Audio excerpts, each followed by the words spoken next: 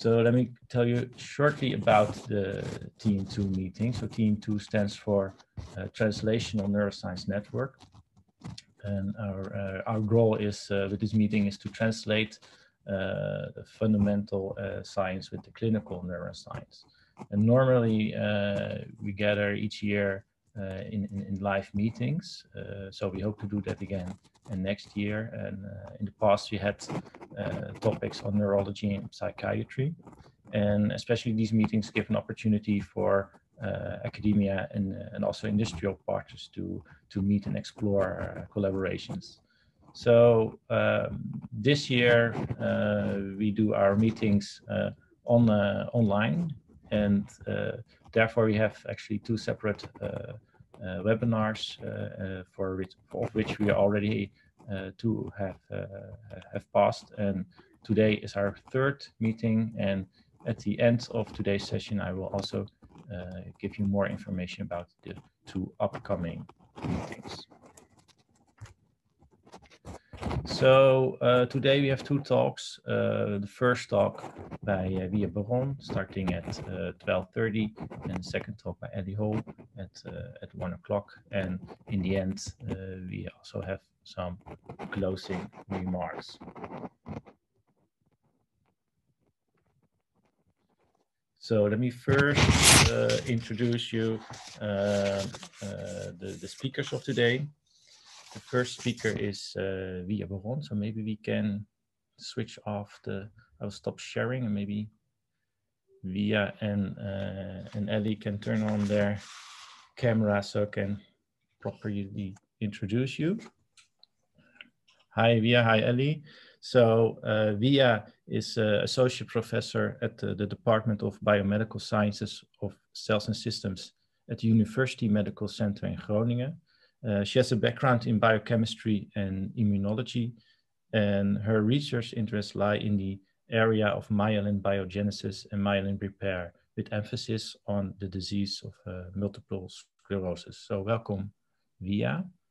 Um, and the other speaker, second speaker, is Ellie Hall. Ellie Hall is a professor of uh, glia biology of uh, brain diseases at Utrecht University uh, and professor of biology of glia and neural cells, stem cells, neural stem cells at the University of Amsterdam. Um, Ellie leads a research group at the University Medical Center Utrecht Brain Center, and her research focus is on glial cells in, uh, in brain diseases, uh, which include Alzheimer's disease, stroke, uh, schizophrenia, and glioma. So, also uh, welcome to Ellie.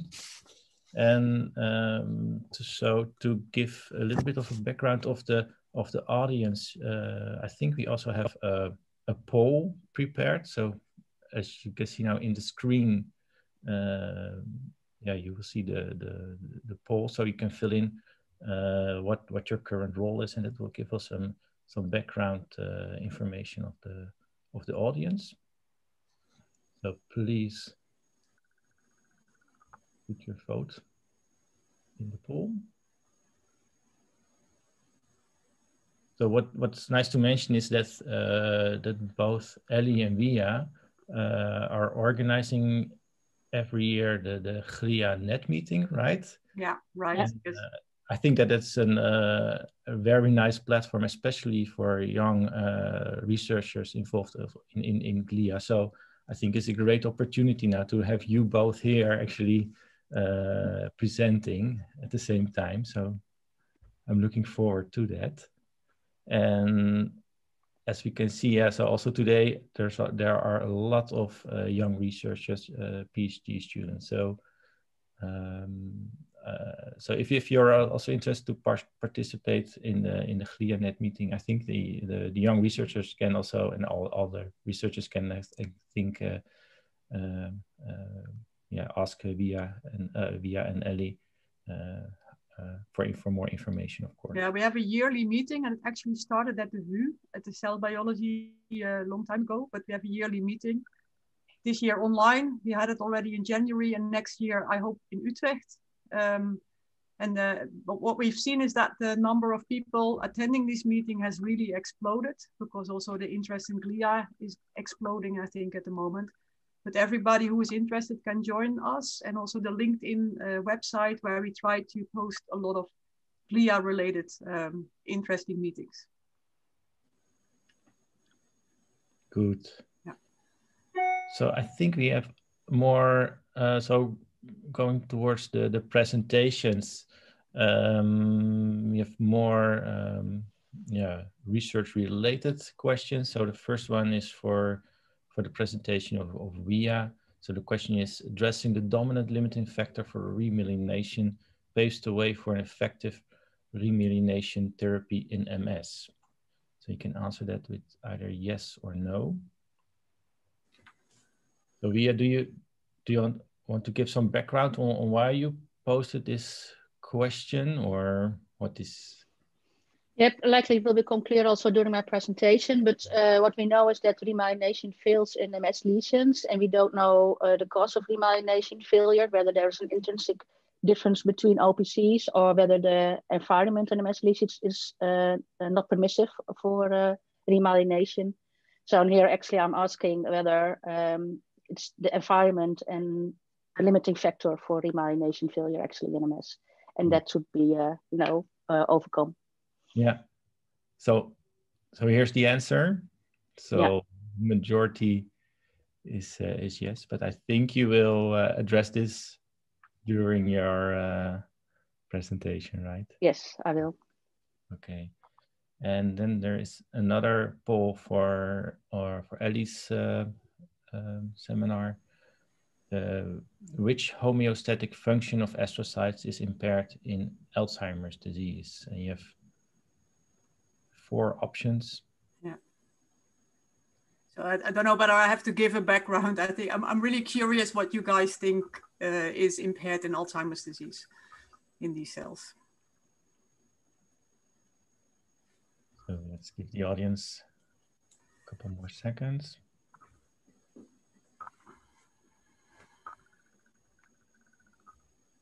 Curious. I, I don't I don't know if if there's an option in the poll to select more answers, but yeah. there should be an option all potentially most likely. But uh, yeah. well, at least you have the two favorites, so taking care of neurons and the three yeah. communication. So yeah. let's keep this in mind, I think, and uh, hopefully we get an answer during your your lecture. So um, let's start with the, with the, with the first lecture by uh, by Via. So we, I, yeah, are you? I hope you are able to share your screen. Uh, and the lecture of, of Via will be uh, called "On the Road oh, to." Sorry. Oh. No, I unshared. Sorry. Yeah, no, it's. So on the road to a remyelination therapy in multiple sclerosis. So we uh, can start. Thank you. Yes, so you thank you for your um, uh, introduction. Um, and I would like to start with thanking the audience, or not audience, the organizers for giving me the opportunity uh, to present part of our work uh, today in this specific and uh, very relevant setting. So I'm in, indeed, as Jeroen uh, mentioned, a bio biochemist by training, but uh, in the last 20 years or so, I've been uh, converted to a glial cell biologist. Um, I maybe should start with, a little bit of a uh, little disclaimer is that we are really onto the road to remyelination therapy in MS, but uh, we are still uh, working in a preclinical and laboratory setting. And we mainly aim to reveal underlying mechanisms of remyelination failure in MS lesions. And uh, uh, based on that knowledge, we uh, aim to design uh, innovative uh, therapies. Um, and I hope to convince you actually uh, today that fibronectin is a limiting factor in MS lesions. And I also share with you some therapeutic strategies we are currently taking. So um, multiple sclerosis is an heterogeneous and uh, unpredictable disease of the central nervous system that is characterized by demyelination, inflammation, and axonal loss. Uh, these demyelinated areas are present in the gray and in the white matter, and also in the brain and the spinal cord. Uh, and dependent on the area of this demyelinated uh, uh, uh, lesions are located, people with MS will face motor, sensory, or cognitive deficits. It usually starts with a relapsing um, remitting uh, pattern uh, already in young adults.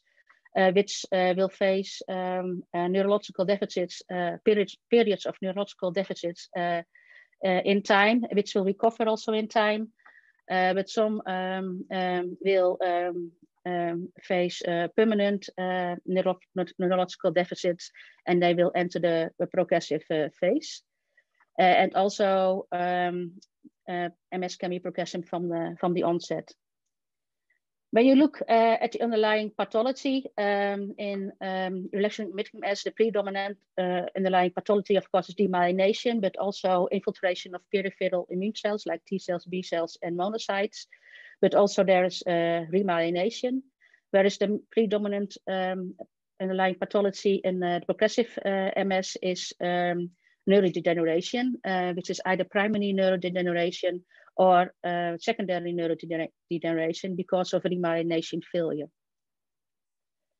Nowadays, there are several therapies for relapsing remitting MS, which are uh, immunosuppressive or immunomodulating, uh, and they uh, will reduce the number and the severity of the relapses. But however, they are not neuroprotective and they are, uh, will not, are not active, uh, act, um, active uh, in the effective in the progressive phase of MS. And so for that, a neuroprotective therapy is required. And uh, one such a uh, neuroprotective therapy is inducing remyelination.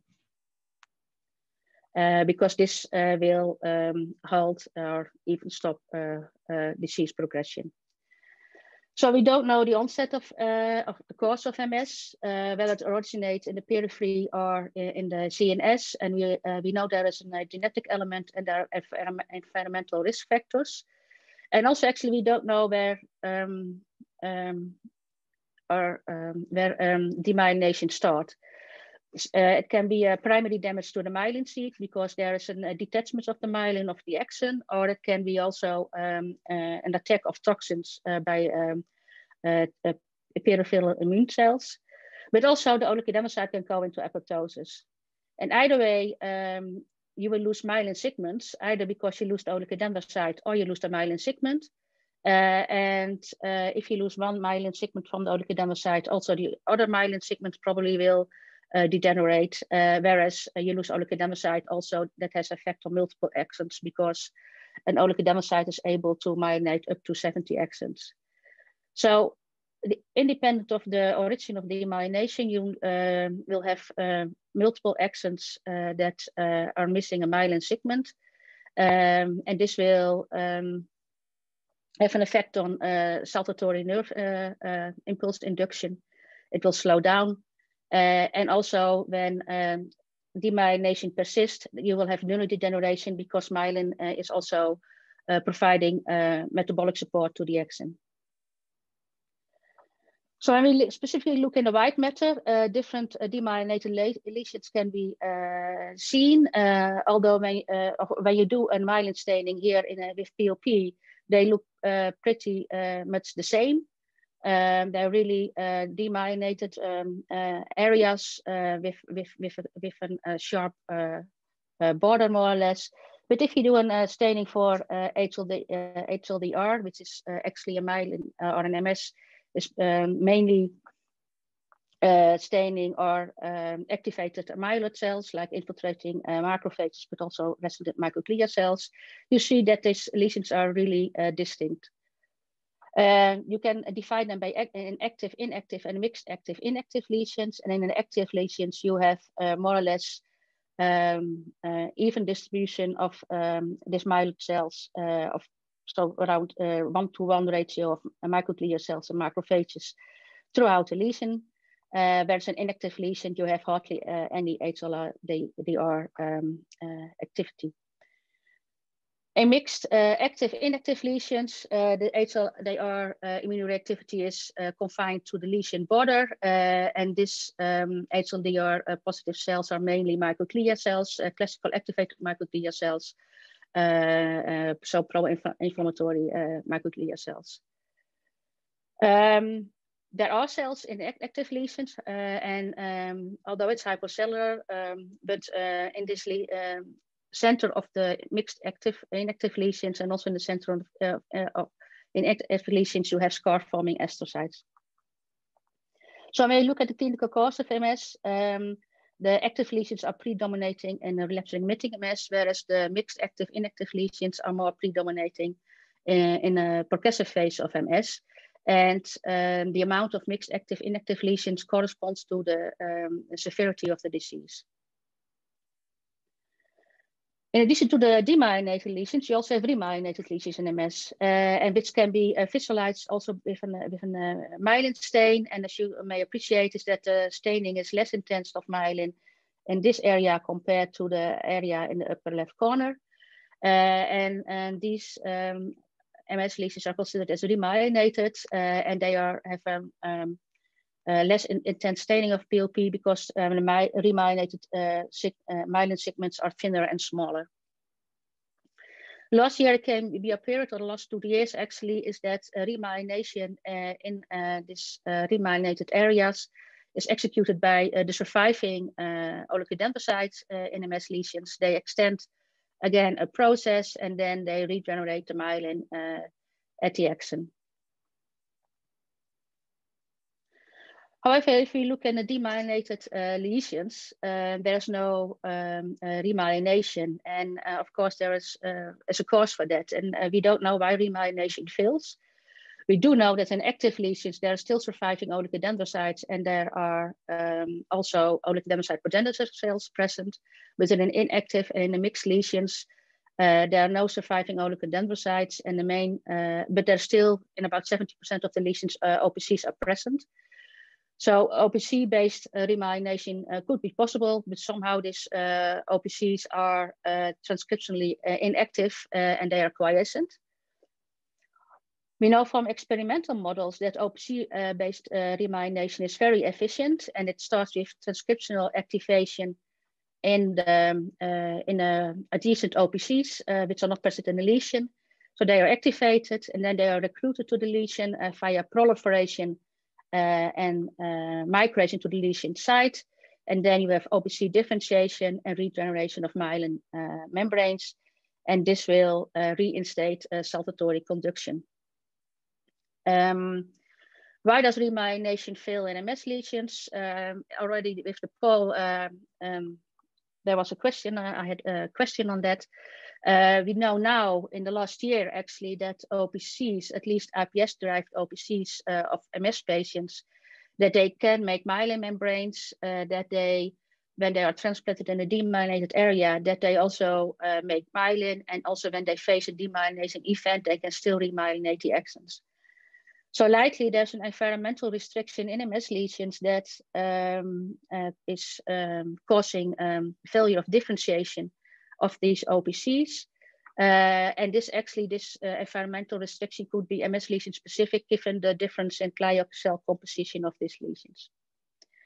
So the major aim is to overcome this environmental uh, restriction, and we are taking multiple roads for that. Uh, I don't think there is one will be one remyelination therapy which is sufficient uh, for all MS patients.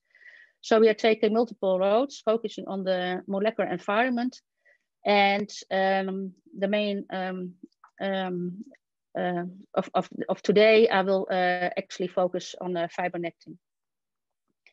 So why fibronectin uh, and what is fibronectin? So fibronectin is an extracellular matrix uh, protein, uh, about 220, 250 kDE, that exists as a dimer, which are linked together via disulfide bridges in the C terminus. You have multiple, about 20 splice variants of fibronectin of a single gene, but you can um, divide them in plasma and cellular derived fibronectin. Um, plasma fibronectin is made by hepatocytes and is circulating in the blood, so uh, it's, it's in, in high uh, uh, levels uh, present in plasma. And you have cellular fibronectin that is uh, made by resident uh, cells, and they can be cellular fibronectin can be distinguished from plasma fibronectin by um, the insertion of a specific domains, um, extra domain B and A, and, they, and, these domains are not present in plasma fibronectin. So fibronectin plays an important role in embryogenesis, but um, why we are interested in because uh, in fibronectin because it also plays a role in many tissue um, um, repair processes in many organs.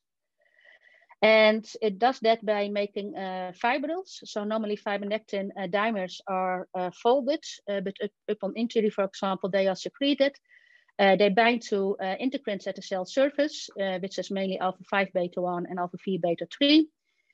Upon binding, uh, they unfold and they uh, there is self-association. So an epitope is exposed that they can self-associate, and uh, in this way, fibrils are formed.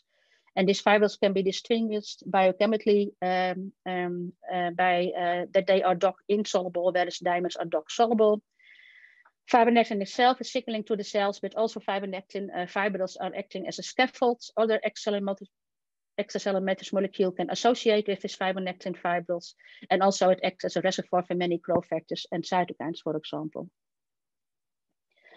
So when we started our research on fibronectin, um, we already knew that fibronectin was accumulating in MS lesions uh, already in 1989 by Sobel and Mitchell. That was um, noted. Um, we also did staining ourselves and what we see. And also it was noticed that um, fibronectin is localized to the vessel walls and it that correlated with the extent of inflammation. Uh, also, there's accumulation of uh, fibronectin in the parenchyma, uh, uh, particularly in active demyelinating MS lesions, as shown by Jack van Horsen. And uh, at that time, it was uh, thought, and I think it still is, that uh, fibronectin, particularly in the basement membrane of the blood vessel, could also play a potential role in the influx and the transport of leukocytes. But we wondering, because there's also much fibronectin deposition in, in, the, in, the, in the parenchyma, we thought uh, this fibron OPCs will also face this fibronectin, and what does it do with remyelination? So we started with a lot of in vitro experiments, and the only thing I would like to um, um, say here, um, we know the underlying mechanism, but we found that fibronectin is inhibiting myelin uh, membrane formation in vitro. Uh, here you see um, staining for uh, or cultured oligodendrocyte stained for MBP. That's also myelin protein. And you see that when they're cultured on, on, on fibronectin, they don't make myelin membranes. And when they are cultured on laminin, which is a physiological substrate deposited by axons that promote myelin formation, you really see nice myelin membranes formed.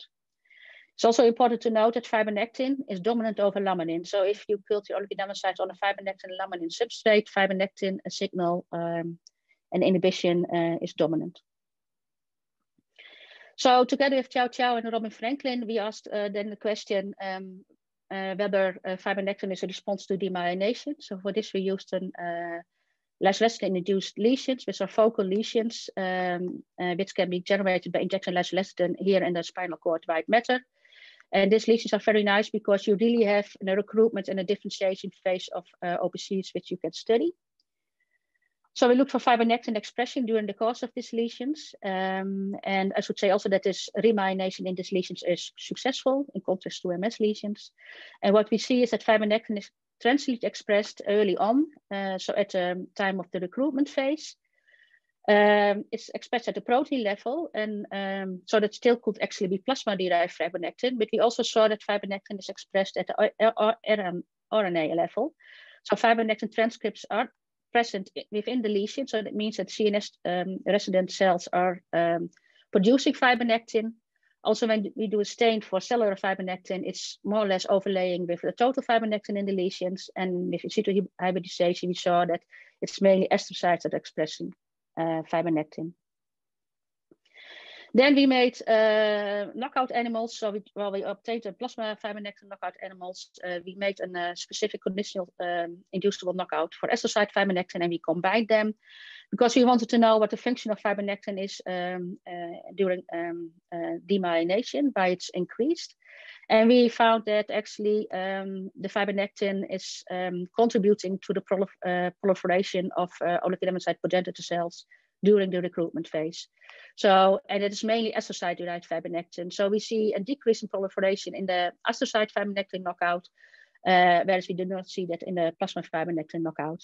And we verified that also uh, by doing a staining for oligodendrocyte progenitor cells with NKX2.2. And there's really a reduced amount of oligodendrocyte progenitor cells when you induce um, a lesion uh, in the astrocyte uh, fibronectin knockout animals. So why is fibronectin expression transient in a, in an um, in, in experimental model, and why is it uh, not uh, or is persistent in MS lesions? So uh, to answer that question, we looked um, at the uh, solubility and insolubility of uh, fibronectin in MS lesions, and what we saw actually is that in MS lesions, uh, fibronectin is aggregating, so it make, it's making aggregates. And this aggregate formation uh, we didn't see. So here you see aggregates, and we didn't see the aggregates formation in the lysolecithin uh, induced lesions.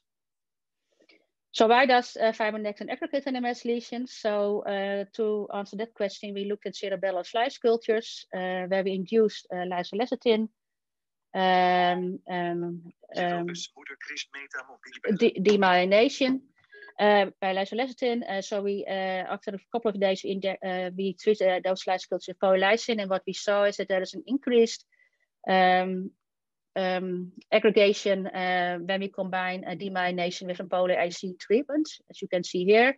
And interestingly, when you only add of in, treat um, the slice cultures with polylysine, we don't see fibronectin aggregation. So a demyelinating event is essential for fibronectin to aggregate. And we could also mimic that in monocultures in red-derived astrocytes, primary red-derived astrocytes, uh, particularly in the gray matter, uh, by pre-incubating the astrocytes with cytokines uh, and then treat them with poly-IC. And then we also saw, saw an increase in fibronectin aggregation. Uh, also notice that that um, fibronectin aggregation in uh, white matter is more pronounced than uh, in white matter astrocytes is more pronounced than in gray matter astrocytes.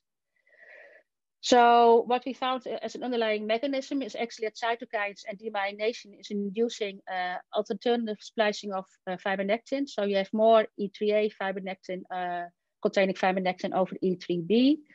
Uh, this means that the binding, surface binding, only depends on alpha uh, 5 beta 1 um, also, the um, unfolding of the fibronectin dimers is uh, less is is less, and also when then when you add toll-like receptor 3 agonists, like what poly-IC is, uh, then you see that fibrates uh, are detaching because there's a decrease in affinity of this alpha V beta 1 for the fibronectin fibrils, and then you um, this fiber fibronectin fibrils will detach, and then you have the formation of the aggregates.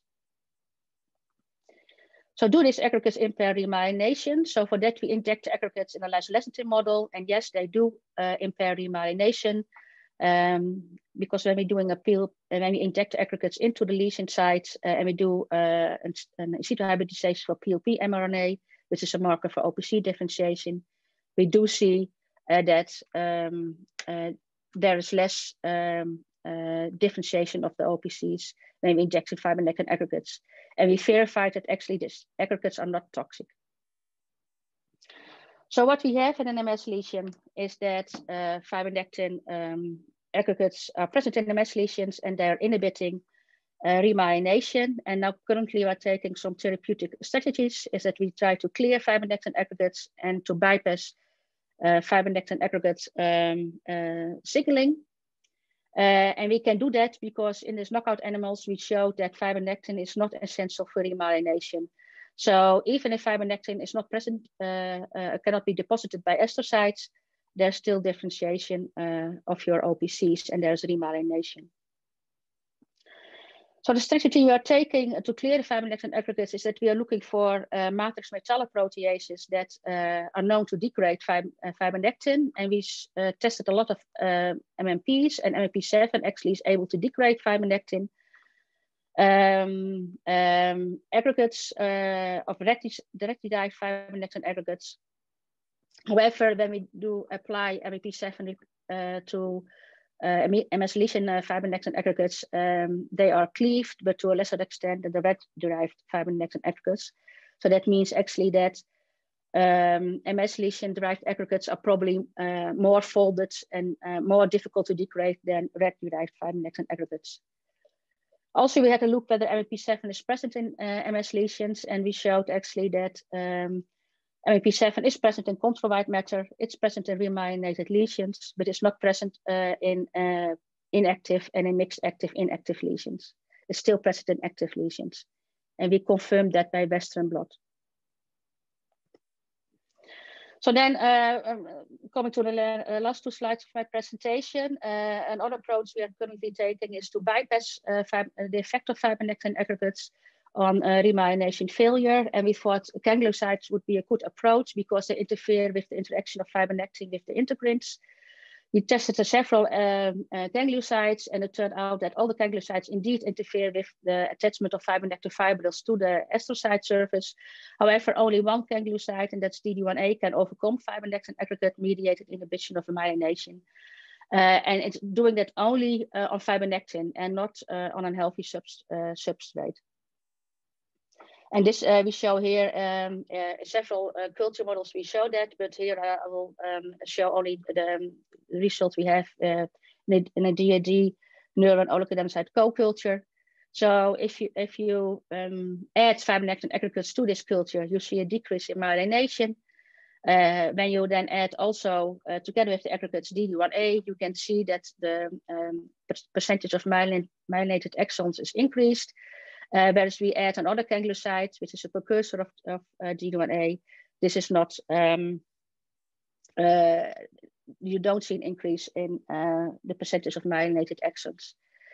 And also we verified that in, in, in vivo to look whether also remyelination is affected. And for this, we used another demyelination model, the cuprizone induced model, which is more global, uh, induces more global demyelination.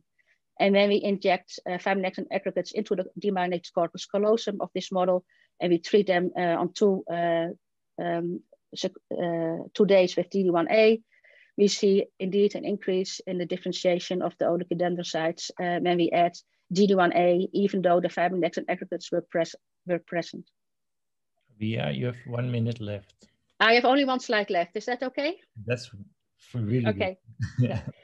So uh, we know now also that GD1a actually is acting uh, by uh, activating uh, the, the, protein kinase A signaling pathway in, um, in, in oligodendrocytes.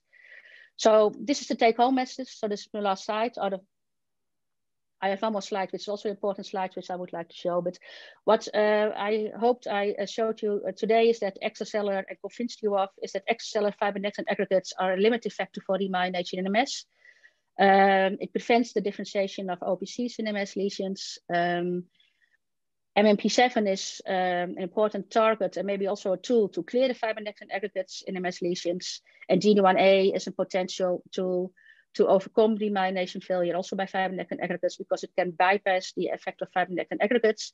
And we are currently doing a proof of concept study where we uh, are uh, targeting uh, D1A via nanoparticles to MS lesions.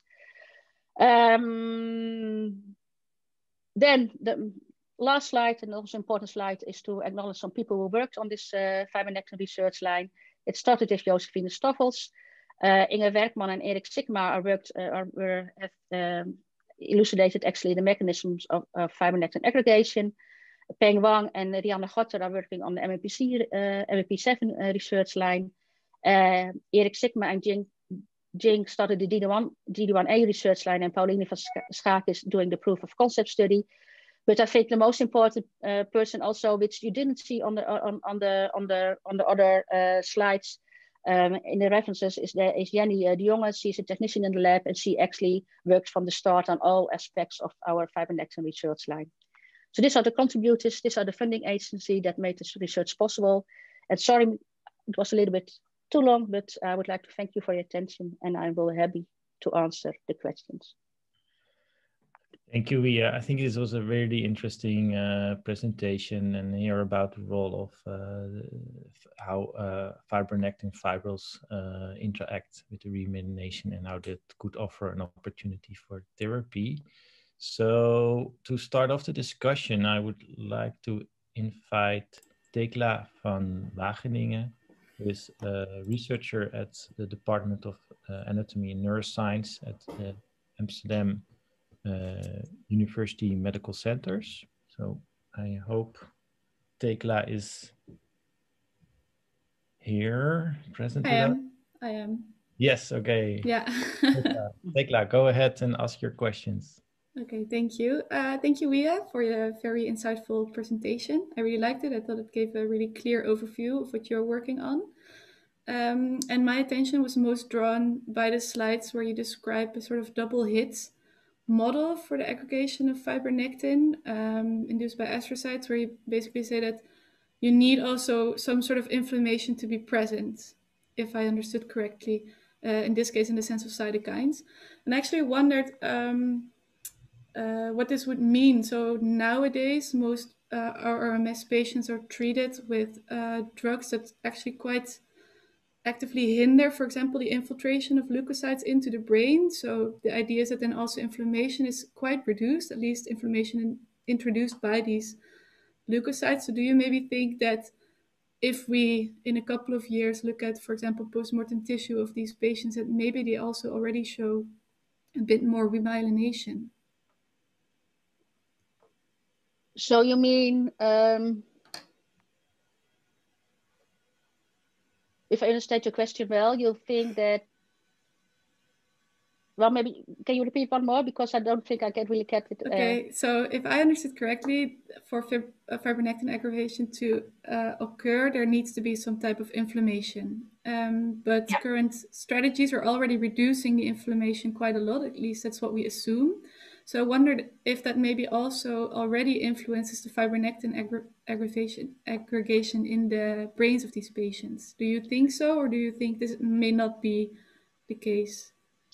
Well, um, it depends. I think also where um, where where you think where uh, demyelination probably will start. Whether it, it, it, will start, you know, in, in in the CNS itself, or whether it will start in the periphery. So the current therapies are reducing uh, peripheral immune uh, cell inf uh, infiltration. So the T cells or B cells and, and monocytes will maybe less enter the lesion sites. But still, if it starts with apoptotic uh, oligodendrocytes, for example, or with degeneration of, of, of myelin within the lesions, you also have cytokine production over there. Um, and the cytokines we looked at actually is a mixture of pro-inflammatory cytokines, so TNF alpha, interferon gamma, and IL-1 beta, and they also are produced within, inside, inside the lesion. So I think then it, it will not stop, I think, uh, will stop uh, fibronectin aggregation. I think you still should be able to clear the fibronectin uh, then, and then it will stop fibronectin aggregation. Okay. Um, yeah, so then you say it's mostly the inflammation caused within the brain that would cause these fibronectin aggregates.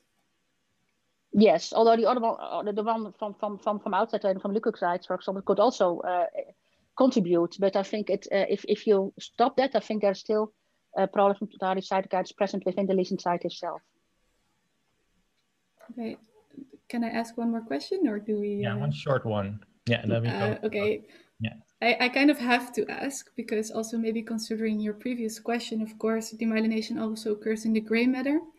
Yeah. Um, where there is already an absence of infiltrated leukocytes. And of course, they remyelinate better, but if you look at postmortem tissue, there's still a large area of demyelination also in the gray matter, where there's no fibronectin aggravation and less astrocytic activation. So I wonder what your thoughts were uh, on this.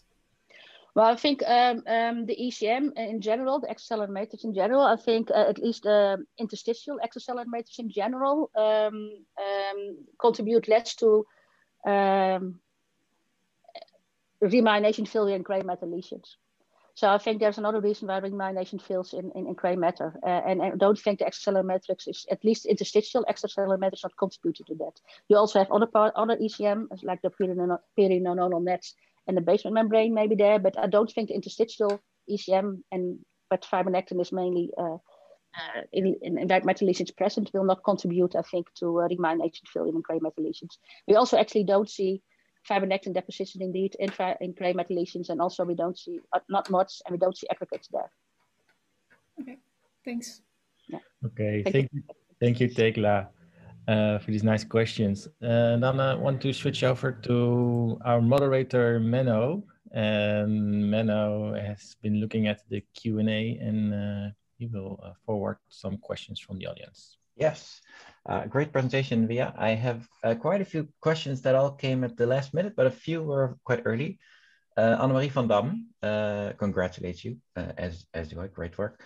Uh, she asks, as fibronectin aggregates uh, can be abundantly present in active MS lesions, which are most present in RRMS, uh, how do you explain that remyelination can occur in these patients if there is so much information? Well, um, in in uh, active MS lesions, you still have you have OPCs and you also have still surviving oligodendrocytes. So uh, we don't know whether surviving oligodendrocytes, uh, remyelination via surviving oligodendrocyte is also um, uh, limited by the fibronectin aggregate. So I don't know if fibronectin aggr aggregates actually is also inhibiting um, remyelination by surviving oligodendrocytes. So it could very well be that in active lesions, remyelination is not executed by OPCs, but surviving oligodendrocytes. Yeah, interesting. Um, Gijs Kooij uh, asks, what are the MMP7 producing cells in the CNS? Can you boost these cells to express higher levels of MMP7? So in vitro, uh, we have sh shown that um, MMP, MMP7 is particularly um, secreted by um, uh, so alternative activated uh, microglia cells and macrophages. So when you stimulate them with IL-4. Uh, also, astrocytes are producing uh, MMP7, but in vitro they don't secrete MMP7. So I think it's mainly the alternative activated microglia macrophages that are actually um, um, secreting MMP7 uh, into the lesion site. Um, Daniela Chao, uh, Daniela Herrera Moro Chao, I'm sorry if I mispronounced your name. Thank you for your talk. I was wondering if there's evidence of a relationship between GBA activity and the creation of the aggregates of fibronectin similar to alpha-synuclein aggregates, for example.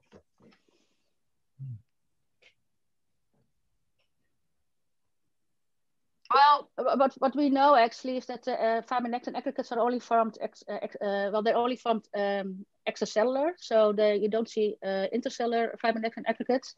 We know that they uh, amyloid uh, beta-like, so they have amyloid beta-like structure, but um, cannot see now at the moment the really relationship between the fibronectin aggregates and alpha-synuclein aggregates. Hmm.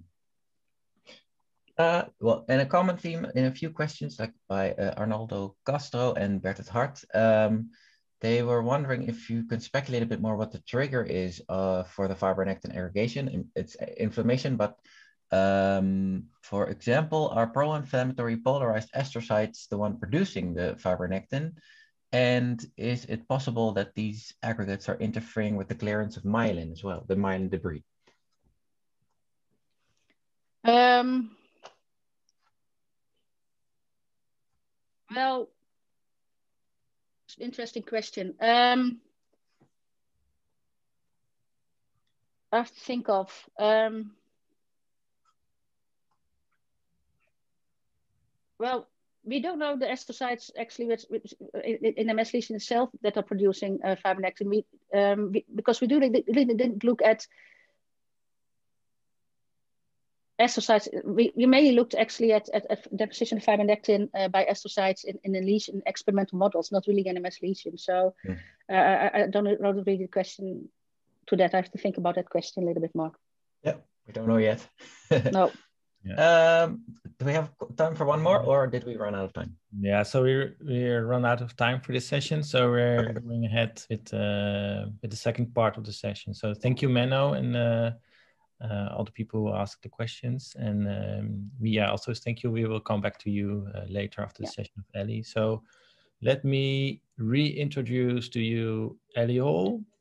And uh, Elly will share her screen and she will present on the role of astrocytes in brain diseases and especially the role in synapse dysfunction and cognitive impairment. So Elly, go ahead. Thank you, Jeroen. Can you hear me, Jeroen? I can hear you. Yeah. Great. So I would, um, I, I, adapted my title a bit. So I'm concentrating uh, this afternoon on Alzheimer's disease or this, uh, this, this uh, seminar. Uh, but everything I'm going to tell you about reactive astrocytes, you can also um, translate that to other brain diseases, I think, although it will probably be a bit different. So um, what you need to, to know about astrocytes uh, for this story is that these cells, these glial cells are, are very, I think they're very interesting, but they also have a lot of different functions. So they are interacting with the synapse and they are there to, uh, to take up uh, too much potassium, for instance, but also to take up glutamate, but they also actively um, release gliotransmitters. So there's an active communi communication between the synapse and the astrocytes, but there was also a direct interaction with the vasculature. And there are uh, water channels that uh, so that, that the astrocytes also can regulate the water balance. So they're really homeostatic cells. And they communicate with the neurons, but they also communicate with microglia, but that, I will not talk about that too much uh, today. So in this, this picture, the astrocytes and, and their end feet that are decorating the vasculature are depicted, and all these blue dots are water channels. And really all the blood vessels are fully decorated by astrocytic end feet. And this is a way how astrocyte can regulate the, the water balance in the brain, but it's also a mechanism by which these cells are instrumental in this uh, liquid flow through the brain, which is called the glymphatic system, which I also will not talk about. But this is a system that really is important also to, uh, to, to clean the brain during sleep. And also what people are, are, have shown is that, for instance, for Alzheimer's disease, during sleep, there is an increased flow of fluid uh, in, in which uh, astrocytes play an instrumental role. And this flow of fluids help to get rid of amyloid beta in the brain. And here you see a small synapse. So if you zoom a bit in into the synapse, there you see that astrocytes are really uh, homeostatic uh, cells. What they do is that they make sure that potassium levels are, are, in, are okay, that the glutamate levels are fine in the synapse, near the synapses. They make sure that water balance is okay.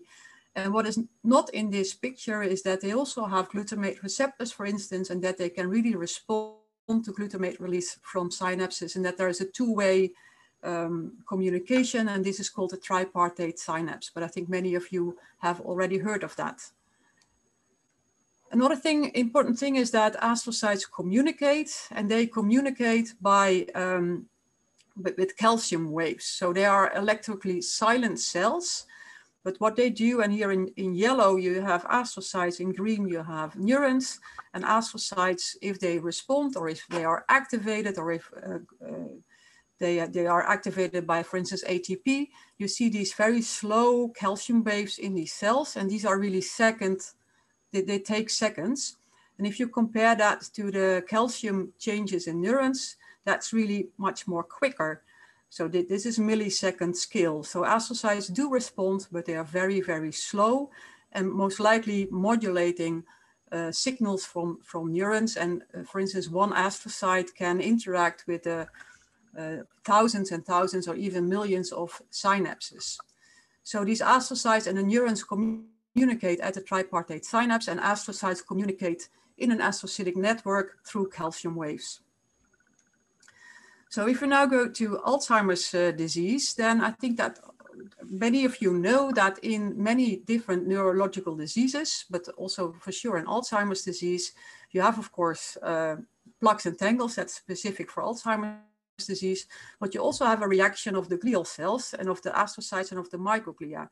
So they change their shape, they become more visible. For astrocytes, you see the cytoskeleton much more pronounced. Microglia round up and get more macrophage-like phenotype. And this, uh, this is called reactive gliosis. And we know that already for a very, very long time. But what I'm interested in is how this reactive gliosis can change brain function and how, how it could contribute to the dementia and the cognitive decline.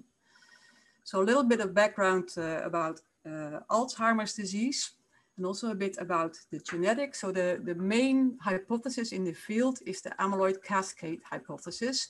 Not everybody agrees with that, but I think at this moment, many, many people agree that accumulation of amyloid is one of the initial things in, in Alzheimer's disease. And what is happening is that the amyloid precursor protein, which is a transmembrane protein, is cleaved by enzymes, which are called beta and gamma secretase, and then the small peptide is cleaved off. And because it, it's in the membrane, it's a fat soluble peptide. And this peptide will form oligomers. And in the end, also these fibrils and plaques. So from the genetics point of view, we, we know already since the 90s of the last century that there are three genes and mutations in those genes cause Alzheimer's disease. And those genes are the amyloid precursor protein and presenilin 1 and 2. And presenilin 1 and 2 are part of the gamma secretase complex, which is one of the enzymes cleaving APP. And that's why this, uh, this cascade and this hypothesis is, I think, the most dominant hypothesis still in Alzheimer uh, research. but over the last years, of course, there's a huge increase in a lot of genetic data. And this is one of the uh, papers in two, 2013 where they looked at almost uh, more than 74,000 individu individuals for all kind of small changes in the DNA and SNPs. And they found several uh, genes that are risk, several SNPs that are risk factors for Alzheimer's disease. This is a Manhattan plot with all the different uh, um, chromosomes on the x-axis and all the dots above this line are uh, significantly related to Alzheimer's disease. And of course, ApoE pops up because this is a well-known or the best known genetic risk factor for Alzheimer's disease. There are three variants. And if you have the ApoE4 variant, you have a high chance or almost 100% chance to get Alzheimer's disease if you're 80 years old. But there were many, many other genes that popped up, and many of these genes were involved in the inflammatory in, in, in brain inflammation. So we have many genes that were expressed mainly by microglia, for, for instance, TREM2, but there are also several genes here that were expressed mainly by astrocytes, and among which is ApoE, but also, for instance, clusterin. And since that time, there's a huge increase in the interest in studying glia in Alzheimer's disease and mainly the microglia, I have to say, although also are more, more people studying the astrocytic side.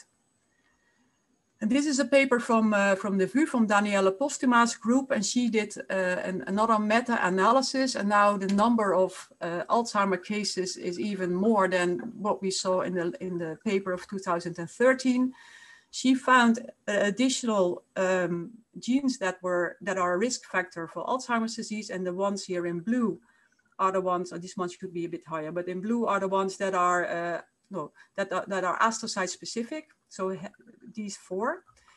And what she also found is that she, she did an analysis to identify the, the cell type that is most likely involved in Alzheimer's disease based on genetic information. And there again, microglia pop up, but also the astrocytes here. So I think both cell types are, it's very, very important to study them in the, in the context of Alzheimer's disease, but also in the context of several other brain diseases. So these four genes that are mainly in Alzheimer, mainly expressed in astrocytes are these four. So this one is a homeobox gene. It's not very well known how that could contribute to Alzheimer's disease. Clusterin is a heat shock protein involved in clearance of debris. So you can imagine that this has something to do with the clearance of A beta. Then APH1B is a gamma secretase subunit. So this might be involved in the cleavage of APP into A beta. And ApoE, that's very well known, which is an apolipoprotein, which is also involved in the clearance of amyloid beta. So um, astrocyte function is, is or, or, healthy astrocytes are essential for proper brain functioning and they have several different different important functions involved in the synapse but also involved in water balance and they are communicating with microglia and neurons and also the vasculature and i think what is very interesting and this is an, a paper of um, of Inbal uh, Goshen in Cell in 2018 and what she showed in vivo is that if you activate astrocytes in the hippocampus, and activating means in this case that you increase the calcium levels in, in astrocytes in the hippocampus by uh, chemogenetics, by CNO, what she, what she found is that that has a direct effect on uh, learning and memory. So here you see that learning and memory is suppressed, is, uh, sorry, not suppressed, is, is increased if you activate the astrocytes in the hippocampus without any other trigger. So this, mean, this means that if astrocytes are changed or is, if astrocyte signaling is changed, that could have a direct effect on learning and memory. And in that sense, it's also very interesting to, to study these in all kind of different dementias. So in Alzheimer's disease, we know a lot of things are changing in, from the glia side. Um, so what, and everything here is A beta oriented because there's a lot of information on the effect of amyloid beta on microglia and on astrocytes. And in the end, that will also have an effect on, uh, on uh, LTP, for instance, in the hippocampus and on the number of, uh, of synapses. So as I said before, what I would like to know is how this reactive gliosis uh, what kind of functional consequences that has and how this reaction contributes to dementia. And one thing uh, that is, I think, very important for many people now to realize is that this term reactive astrocyte is a very broad term and not very well defined. And together with other uh, people in the world that are studying reactive astrocytes, we wrote a, a consensus statement in that is recently been published in Nature Neuroscience about reactive astrocytes. And I think one thing that, uh, that is very important is that these cells are undergoing morphological molecular and functional remodeling in response to an injury, a disease or an infection. And it's most likely also disease specific. So it's also the functional changes. And one other thing is that there is no good or bad astrocyte or A1 or A2 astrocyte as Shane Liddelow is always promoting. There's most likely a continuum between neurotoxic and neuroprotective astrocytes. And that's actually the same as what is happening also in the microglia field. So in Alzheimer's disease, you have tau tangles in neurons, you have the amyloid plaques. What happens is that the microglia get activated, they try to get rid of the amyloid plaque, and then most likely these cells are activating astrocytes, and astrocytes are changing morphology and also changing function, which might have an effect on synaptic communication. So for the studies that I'm doing in my group, we, we're using uh, one of the Alzheimer mouse models, which is called the APP Swedish PS1 Delta Exon 9 model, which is a model which has a lot of amyloid deposits, which has very clear microglia activation here in red that goes into the amyloid deposits, which are in blue, and a very clear reactive uh, gliosis and reactive astrocytes. And if you if you compare that to what happens in Alzheimer patients, so the top the top graph is uh, GFAP expression because that's one of the things that go up in in astrocytes. So the intermediate filament protein GFAP is highly upregulated. You see that if you have more amyloid depo deposition, in, in humans, there's more GFAP present in the brain. And the same goes for this mouse model. So wild type do not have a lot, but if you, if you take different ages, you see that there's a very clear reactive astrocyte and gliosis in this model. So this model is very good to study that part of that aspect of Alzheimer's disease. So several years ago, we started out with a um, uh, RNA-seq analysis on astrocytes and also microglia that we acutely isolated from very old uh, brains of cortices of these mice. And what we found, and this is just a, a, heat plot of that, but what we found was that in astrocytes, but also in the microglia, of course, there was an activation of the immune response in these cells. But this activation of the immune response was actually much more pronounced in the astrocytes compared to the microglia.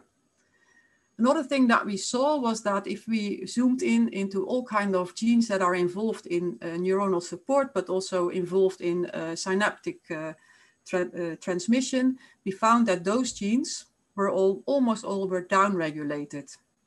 So we concluded that the basal astrocyte function is compromised, that these cells are immune activated, which is also what we found earlier because also the immunoprotein is activated in Alzheimer glia, and this is in in an, I think in a human brain, but we found that in human and a mouse brains is that the immunoproteasome in the astrocytes are increased in Alzheimer's disease. So the astrocytes are forgetting about the neurons, are, are fully involved in the immune response, most likely triggered by A beta and microglia. Um, in the lab, we also have a mod model of attenuated reactive gliosis, and that is a model that has a knockout of these two intermediate filament protein, GFAP and vimentin. And also this mouse model is now present at uh, the VU, and we are uh, uh, still working on that to, to see what is happening exactly in that model. And one of the things that we have published earlier is that what you see if you downregulate or if you knock out these proteins, which are always very clearly upregulated in reactive gliosis, you find that the um, uh, that that for instance the the astrocytes are not with their processes not in amyloid plaques anymore. So normally you have so these are astrocytes filled with a fluorescent uh, dye, so EGFP. Here you see amyloid deposits in the Alzheimer mouse models, and you see that the astrocyte with their fine processes are still in the amyloid plaques. But if you knock out GFAP, that's not happening anymore. Uh, this experiment was done in the United States and was done in our group. We both found this effect on the, the interaction between A beta and the astrocytes, but uh, we did not find any effect on plaque deposition. But the other people in the States, they did find an increase in plaque deposits if you downregulate reactive gliosis. So we still do not know why we found the difference, but that's something that, uh, that is important to, uh, to mention. So in, in you have five minutes left. Five minutes, thank you. So in, uh, in uh, uh, conclusion of this part is that uh, the astrocytes with intermediate filaments, they have an activation, activation of the immune response and a reduced capacity of neuronal support. And at the moment, if you downregulate these proteins, you see that, um, that the immune response is still there, but the reduced capacity of neuronal support was not there anymore because we also did an RNA-seq on these. And we are now currently uh, still um, busy in, in, in, um, in, studying this to see whether this also will means that those mice do not have a problem with memory. But these data we don't have yet five minutes left. So I just want to show you what we have now done on, on the, the functional consequences of astrocytes based on this RNA-seq data. So the things that we found out is that, for instance, gap junctions were changed, but also the potassium channel activity was changed. And these are, these are both uh, important for the homeostasis. So the potassium channels, KIR 4.1 and 5.1 will take up potassium and the gap junctions are very important for the siphoning away of potassium. And we did several uh, studies. First of all, we checked what is happening with the KIR 4.1 and KIR 5.1 proteins. And uh, the interesting thing was that although we found a downregulation in Alzheimer mice on our microarray or RNA-seq, we found an increase of the protein very close to plaques. And that's what we have um, quantified here. We did we found it in the cortex in nine months old and 15 months old mice, but also in the dentate gyrus. So somehow the KIR is not really downregulated, but there is a, a change in the location of the channels in, in, uh, in Alzheimer mice.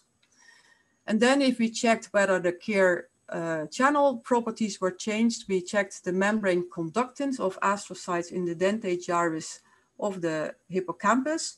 So we chose this area because we could also activate neurons, which will lead to an increase in potassium very close to astrocytes. And then we can measure the potassium conductance of those astrocytes and see whether that was changed in Alzheimer mice. And a long story short, we did a lot of measurements. We were able to patch these cells, but we did not find any changes in barium sensitive potassium channel conductance. So there was no effect at all. And the same was if we um, evoked an inward current by either activating the neurons so that you have an increase in potassium very close to the astrocyte or by a local application of potassium to these astrocytes, we did not find any effect on this conductance. Um, another thing we did is check then whether the coupling would change. So there was no effect, no functional effect on the potassium uptake. Then we checked the coupling, and that, that is the gap junctions, and we filled the astrocytes with biocytin, and this is work of Christian Huffels that he did recently. And also there, we didn't find an effect. So the coupling efficiency between astrocytes in Alzheimer mice was the same as in, as, as, in control mice. And the final thing that we did is then look at the calcium uh, communication because astrocytes communicate through calcium uh, waves.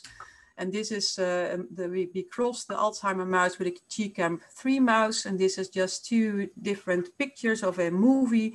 And you see that this astrocyte here, number five, has a higher uh, signal here than at 210 seconds. So we did an analysis of the waves of astrocytes in the in the um, in these mice. And what we found here is that Alzheimer mice have more and longer calcium transients but that there was no effect on the distance of these astrocytes to a plaque. So this is uh, the first functional change that we find in these animals in, uh, uh, in relation to amyloid plaques.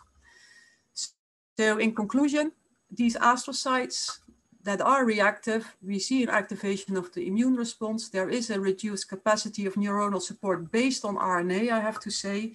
But then, of course, you need to make the step to functional uh, analysis. And then we did not find any change in the conductance of potassium, although there was a decrease in potassium channel mRNAs. We did not find a change in astrocyte coupling, although there was a decrease in connexins, but we did find a change in, in calcium transients in astrocytes. And if you attenuate the uh, reactive gliosis, we only saw activation of the immune response. So my final uh, final slide, I, I, hope that I, I've convinced you that uh, reactive gliosis can indeed change brain function, but what we really need is more uh, specific and functional readouts, but also more astrocyte specific tools. And of course, we need to make the step also to the human situation uh, and also to study the, the functional changes there. And for that, we um, I'm also working now with human cerebral organoids, but I will not talk about this, this today, but also to make here models for reactive gliosis and try to also study these interactions that we have studied in mouse models. And this is the final slide. So a lot of the work that I showed was from uh, Christian Huffel. So this is Christian and Lana Osborn and Tamar Smith. This is Tamar together with many people from the UvA and people from my group, but also international collaborations with Milo, Milos Pekny and Christian Steinhäuser.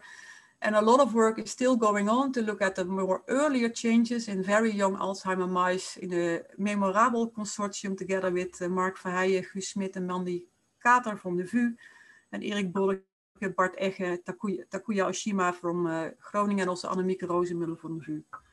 And I would like to thank you for your attention and I'm open for questions. Thank you, Elly, for this really nice presentation. Uh, also, the, the, last slide looks very uh, inviting. So I hope uh, that everyone can uh, very soon together with, with the lab sit outside together in the sun. Yeah, oh, I'm really missing that. I'm missing the interaction and the fun, but I think everybody feels the same. Yeah. So I want to invite uh, Mark Verheijen. Uh, Mark Verheijen is a researcher at the Center for Neurogenomics and Cognitive uh, Research, the CNCR at the VU University. And uh, I think Mark also has a lot of questions about uh, astrocytes for Elly.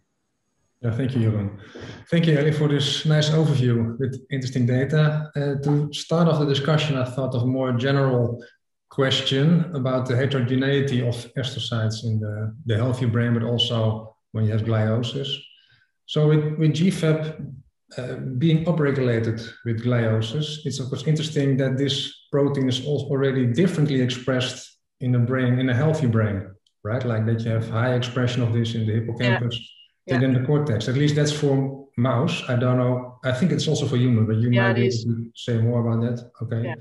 So yes. what, what, do you think does what does this say about the regulation of GFAP or its function of GFAP in astrocytes and those different types of astrocytes maybe? Yeah, that's I think it's a very interesting topic, but you know that Mark, that I really like this protein, but uh, right. um, the point is that many people are using the antibodies against GFAP to, to identify reactive astrocytes or to identify astrocytes at all. But many astrocytes in the cortex are not expressing GFAP in the in the normal healthy condition. So you will not be able to see them. In the hippocampus, there's always a higher expression of GFAP. And as soon as you, see, you get amyloid plaques in the cortex, you see an upregulation of this protein. So it is a sign of reactive gliosis, um, but it's not the same in every brain area. And I think we are now just starting to understand how also the heterogeneity of these cell types in different brain areas, how that is, yeah, so what, what, what, what that means. Um, what I do know from other studies that if this part of the cytoskeleton is changed, it has a direct effect on, for instance, laminin production. So the extracellular matrix is changing. So the cell is reacting to, most likely induced by microglia, that's what I think, reacting to the interleukins and cytokines, and therefore there's a stress response in these cells, and they start to make all kind of enzymes, but also all kind of other uh, uh, proteins like laminin, and that for sure has an effect also on the interaction with the with the synapse. And I, I think it will probably be different in different brain areas, but we have to find really have to find ways how to how to manipulate that and how to really study the functional consequences. But maybe first we need to start by, by doing all the RNA-seq or single cell and relate that to, for instance, the levels of GFAP or Vimentin or any other very uh, clear um, protein that is expressed in reactive astrocytes. Yeah. Yeah. So do you think that that's sort of that the difference in G, GFAP levels between regions of astrocyte that that's also causing a different susceptibility to gliosis? Sort of a different. I don't know. Of... I don't know. Might be. I don't know. But but that would mean that that I that either the, the hippocampus is more susceptible because they already have a high amount of GFAP, right. and maybe that that leads to quicker changes in ECM molecules and, and, and therefore maybe the neurons in the hippocampus are more vulnerable, but I'm now really speculating. I do not know, but that, that might be, uh, but maybe it has nothing to do with reactive gliosis at all, right? It's just something that we all use and we know that this protein is highly regulated and that yeah. it really, yeah, I mean, it, if you have a mutation in GFAP, you get a very severe leukodystrophy. So it has an important function in the brain. Yeah, thank you for the speculation. Yeah, can I ask another short question, you or? Yeah, one short question. okay. So Elly, you, you already said that you cannot sort of divide reactive astrocytes simply in an A1 and an A2 right? Yeah. And uh, but in, in your data yourself, when you, when you do this transcriptome analysis, you see sort of an upregulation of the immune function of astrocytes yeah. and a downregulation of the synaptic support. Yeah.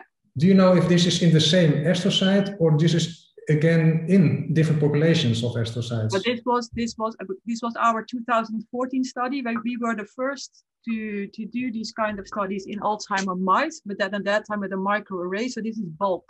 So we isolated the astrocytes uh, with an antibody and did RNA, did microarray. And I think that, so we need to look at the single cell level, but also at how these different genes are expressed at the single cell level. And it would be nice if we could do that at the single cell protein level, because I think that's even more important, but that's much more difficult. Yeah. But that is, I think, what, what is really needed and is missing. And, and Shane Liddelow is also one of the authors of that that position paper, and he is of course an advocate of A1, A2. Mm-hmm. But I think he also will agree that it's not that clear that there is a continuum because you cannot say this is an A1 astrocyte and this is an A2. And the same goes for microglia in the brain. Although there are people that are really still advocating that there is M1, M2. Yeah. Okay, thank you. Okay, thank you, Mark. And now we switch over to Misha, uh, who has made a selection of the questions in the Q&A. Yeah, great uh, presentation, Elly. Here are some uh, okay. questions from the audience, and I start with uh, Wilma van den Berg. She, uh, she posed the question whether you think there are more uh, small heat shock proteins and heat shock proteins uh, in this balance in these astrocytes in Alzheimer's disease, or is it only a clusterin? And, no, I think there probably more also, also other neurodegenerative diseases. I think there are more, and also because uh, if you have a lot of GFAP, that also triggers all kind of heat shock proteins like alpha B crystallin. But I have to check the list, of course. But I'm, I'm I would not be surprised if there were more of them. Yeah. So it's not only clusterin then that is. Uh, in, no, in but but clusterin comes from the um, genome-wide analysis, right? So that's one of the genes that is a risk gene. So there's a SNP that is correlated to Alzheimer's disease. Yeah. And do you think that's that is uh, associated then with the clearance capacity of these uh, astrocytes? Yeah, I, I just I, yeah, you that that would be a logical thing to check, right? But I I don't know. It's not. So I know that astrocytes can clear A beta, but I'm sure microglia are better at that. Uh, but there are data that's all uh, that astrocytes can do it as well but they are somehow involved because of the ApoE, right? If they produce a lot of ApoE, ApoE is needed to also clear A beta, so that it's probably uh, more cell types that work together to get it from the brain. Yeah. All right. The next question is from uh, Daniela uh, Chao. So um, she was wondering if you also looked at connexins, connexins, so these proteins expression, or a glutamate release and uptake in the Alzheimer astrocytes not in the animal. Yes, the the uh, connexins, right? That that information is in the RNA-seq database, and that is they were. Uh, um, one of them was upregulated, and the other one, that is connexin 43, was downregulated at the RNA level. We have not done the protein stainings uh, to, to see whether that was also true for that. Um, glutamate, we did not we did not check in vivo. I think we you should really because I, I, know that people also study this in vitro, but astrocytes in vitro are really, really different from astrocytes in vivo. And you need a 3D environment. And especially if you want to, to study this, uh, the, the, the, the, synapse interaction. So it's, it's uh, and if you do it in 2D, you have a lot of reactive astrocytes. And, and yeah, for sure, you can check whether the glutamate is taken up better or, or uh, whether there's a lower capacity, but I, I think we need to do this in vivo. All right. Do we have time for another one, Jeroen? Yeah, I think the last one. I see we have a lot of questions in the Q Q&A, but we also are running out of time. So maybe one last question. One last question of uh, Rogier Min. So do you think that uh, your readout for the potassium channel activity or the potassium uptake was local enough to pick up the uh, differences? Was local enough? Yeah, yeah we did a patch clamp i don't know how you get more how you can get more local. So uh, that was really very local. Um, but i think it is also not very easy to do that. And there are several technical problems uh, involved by, by by patching astrocytes but also because they are forming a network. You you're actually measuring the effects of the whole network and that's also quite complex. So for sure it can be done in a better way and more sophisticated way but we did it very local all right, thank you. Well, back to you, Jeroen. Okay, thank you, Misha. So um, we're going towards the closure of this meeting, but not before we have a final uh, poll. And for that, I also want to invite uh, both Elly and Wia on screen. And I think Sabira will open some questions. So the conclusion for the poll uh, on the or for the talk of Elly uh, is reactive astrocytes are either a pathological hallmark and a consequence of neurodegeneration or a functional state of astrocytes and a cause of neural dysfunction. So let's give the audience a couple of seconds to think and answer that question.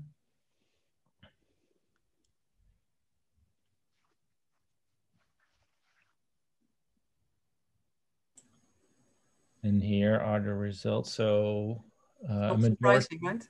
yeah, not surprising. yeah. I think the first one is also true. It is a pathological hallmark, but it's much more to learn about these cells than only that it's a pathological hallmark. Yeah. Okay, thank you. And then the last question for for Wia. MS lesion specific environmental cues should be taken into account when developing a remyelinating uh, therapy uh, for MS? Yes or no?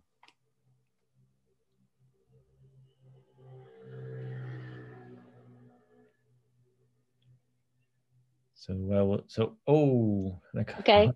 Score yes. So yes. so so I think I convinced the people, and I think yeah. it's very important because nowadays, uh, for um, you know, drugs are going into clinical trial. They have not been really tested in a MS lesion environment. So I think it's good to test them in really an MS lesion environment before they go to clinical trial. Yeah. So, so I think think your message was uh, very clear. Yeah. I think good. I think uh, today we had two very interesting um, talks from uh, from Wia and Elly. So Elly, Wia, thank you very much uh, for for participating and giving a talk in the in this series, and uh, hope to hear from you uh, very soon on the. How, you will. yeah. and also uh, hope to see you uh, in live in a yeah. real person very soon. Okay. Thank you very Thanks. much. Thank you. Okay. Bye.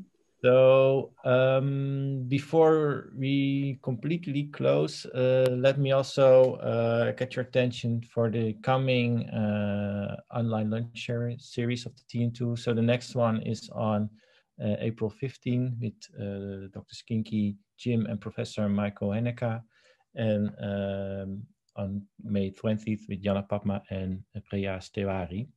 So uh, I hope uh, we can uh, reconvene then uh, at 15 and 20 May. So I'm I'm looking forward to uh, to host you then again.